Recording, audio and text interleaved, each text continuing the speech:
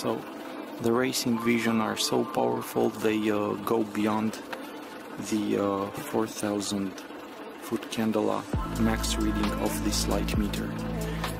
I'm so sorry but I am unable to um, to bring you the exact measurement.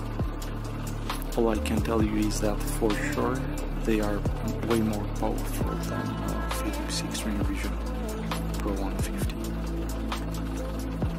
So uh, those had 3800 uh, foot candela. Racing Vision uh, GT200 has beyond, above 4000. Let's see how these bulbs are on the road.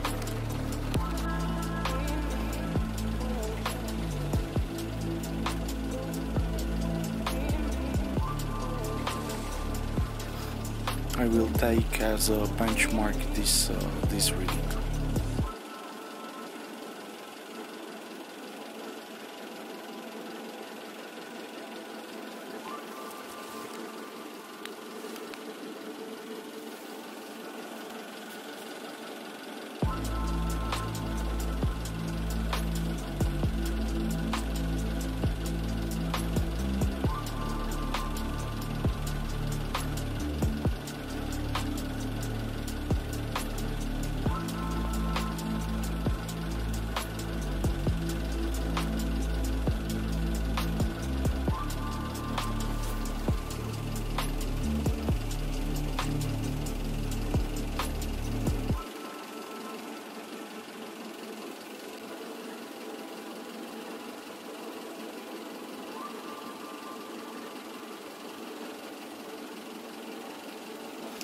Yeah, so this is about it.